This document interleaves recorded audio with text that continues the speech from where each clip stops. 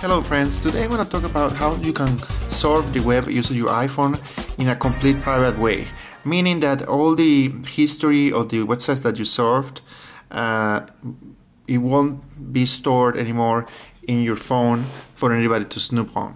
So to do that, just go to your settings, then scroll down all the way to Safari and there it has some interesting things there. You know that when you are in Safari, and I can just go quickly there, for, you will see that there is a right here on the top there is uh, Google.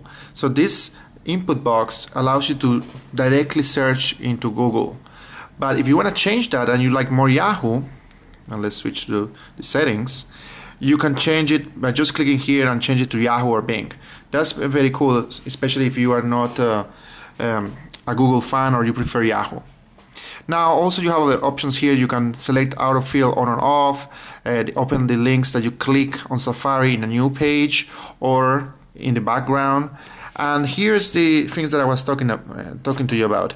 You can use a private browsing and select it to on, and you see that all the existing tabs before turning on the private browsing will be cleared and closed. And also what this is going to ha happen is that there is not going to be any record history of the websites that you navigate. So it's it's very useful, you know, to keep your your um, privacy, and it's something that you may want to consider if if you just want to take that extra step in privacy. So that's all for today, and thank you for watching.